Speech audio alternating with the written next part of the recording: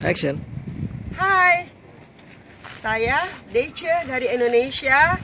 Uh, saya sebagai ketua Iwanas uh, bidang internasional. So, saya sekarang berada di uh, Hollywood Sign. Uh, I like it. It's very exciting for me, ya kan? Also for Indonesian people, it's very exciting. So, this is uh, saya ingin mengembangkan Iwanas di Amerika. So, everybody suka?